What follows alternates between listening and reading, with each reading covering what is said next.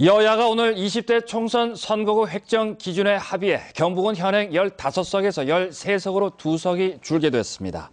오늘 합의한 선거구 획정 기준은 선거구별 인구 편차를 2대1 이하로 하라는 헌법재판소 따른 것이어서 인구 상한선 28만 명을 초과하는 경산, 청도 선거구를 두 개로 분리해 경산은 독립선거구로 하고 청도는 영천과 합치게 될 것으로 보입니다. 또 인구 하한선 14만 명에 못 미치는 군위, 의성, 청송을 상주와 영주를 문경 예천과 통합하는 방안이 유력시됩니다.